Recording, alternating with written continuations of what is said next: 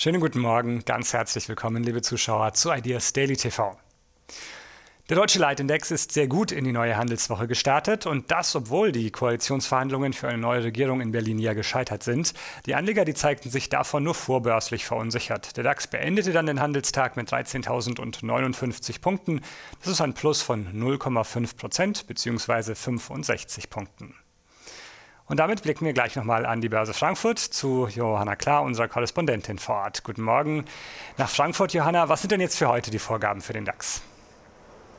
Schönen guten Morgen hier aus Frankfurt. Es sieht weiterhin positiv aus, denn die Vorgaben von Seiten der Wall Street und auch aus Asien sind freundlich. Und an der Wall Street, da hat man gestern einen kleinen Erholungsversuch gestartet in die verkürzte Handelswoche. Am Donnerstag ist ja Thanksgiving, dementsprechend bleiben die Börsen dort geschlossen. Es gab gestern positive Konjunkturnachrichten in den USA und die pushten den Dow zum Handelsende 0,3 Prozent in den positiven Bereich. Mit 23.430 Punkten ging der Dow Jones aus dem Handel.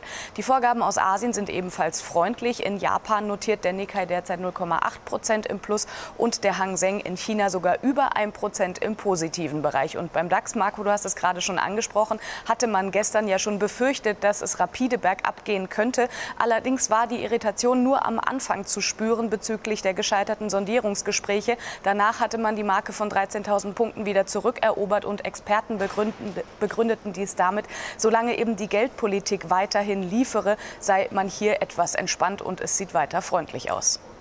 Dann vielen Dank nach Frankfurt, Johanna.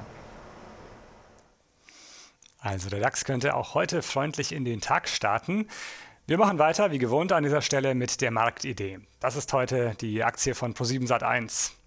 Diese Aktie, die war gestern einer der größten Gewinner im DAX. Zuvor hatte Konzernchef Thomas Ebeling seinen baldigen Abschied angekündigt. Ebeling war ja durch unglückliche Aussagen über die eigenen Zuschauer in die Kritik geraten. Die Aktie, die konnte sich durch die Zugewinne von der Unterstützung oder von einer Unterstützung absetzen und die Chancen stehen jetzt gut, dass sich das Papier weiter erholt. Wenn Sie mehr dazu erfahren möchten, gehen Sie einfach auf www.ideas-daily.de. Dort finden Sie eine ausführliche Chartanalyse dazu. Ja, und das war's wieder mit Ideas Daily TV. Morgen sehen wir uns wieder. Bis dahin, machen Sie es gut. Tschüss und auf Wiedersehen.